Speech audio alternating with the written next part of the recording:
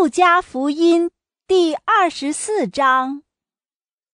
一周的第一天，天还很早，妇女们便携带预备下的香料，来到坟墓那里，见石头已由墓穴滚开了。他们进去，不见了主耶稣的遗体。他们正为此事疑虑的时候，忽然有两个人，穿着耀目的衣服，站在他们身边。他们都害怕，遂把脸垂向地上。那两个人对他们说：“你们为什么在死人中找活人呢？他不在这里了，他已复活了。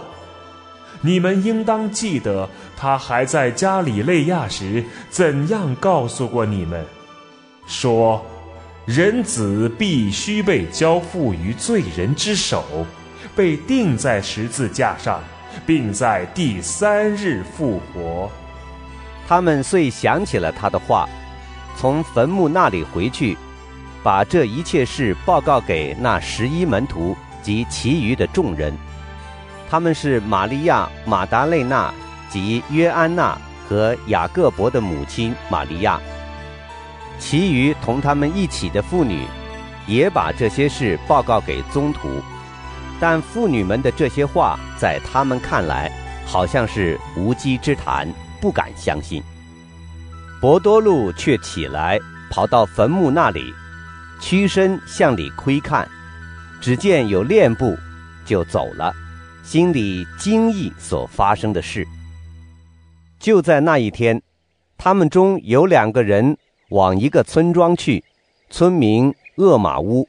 离耶路撒冷约六十斯塔迪，他们彼此谈论所发生的一切事。正谈话讨论的时候，耶稣亲自走进他们，与他们同行。他们的眼睛却被阻止住了，以致认不出他来。耶稣对他们说：“你们走路，彼此谈论的是些什么事？”他们就站住，面带愁容。一个名叫克罗帕的回答他说：“独有你在耶路撒冷做客，不知道在那里这几天所发生的事吗？”耶稣问他们说：“什么事？”他们回答说：“就是有关纳扎类人耶稣的事。他本是一位先知，在天主及众百姓前行事说话都有权利。我们的司祭长及首领竟借送了他。”判了他死罪，定他在十字架上。我们原指望他就是那要拯救以色列的，可是，此外还有这些事发生到今天，已是第三天了。我们中有几个妇女惊吓了我们，她们清早到了坟墓那里，没有看见他的遗体，回来说他们见了天使显现，天使说他复活了。我们中也有几个到过坟墓那里，所遇见的事，如同妇女们所说的一样，但是没有看见他。耶稣于是对他们说：“唉，无知的人呐，未信先知们所说的一切话，你们的心竟是这般迟钝。莫西亚不是必须受这些苦难，才进入他的光荣吗？”他于是从梅瑟及众先知开始，把全部经书论及他的话，都给他们解释了。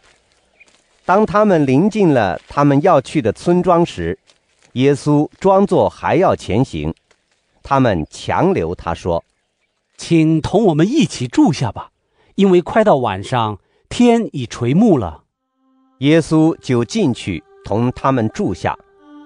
当耶稣与他们坐下吃饭的时候，就拿起饼来祝福了，掰开递给他们。他们的眼睛开了，这才认出耶稣来，但他却由他们眼前隐没了。他们就彼此说：“当他在路上与我们谈话，给我们讲解圣经的时候，我们的心不是火热的吗？”他们遂即动身返回耶路撒冷，遇见那十一门徒及同他们一起的人，正聚在一起，彼此谈论说：“主真复活了，并显现给西满了。”二人就把在路上的事及在分饼时他们怎样认出了耶稣，述说了一遍。他们正谈论这些事的时候，耶稣立在他们中间，向他们说：“愿你们平安。”众人害怕起来，想是见了鬼神。耶稣向他们说：“你们为什么恐慌？为什么心里起了疑虑？你们看看我的手，我的脚，分明是我自己。你们摸摸我，应该知道。”鬼神是没有肉躯和骨头的，如同你们看我，却是有的。说了这话，就把手和脚伸给他们看。他们由于欢喜，还是不敢信，只是惊讶。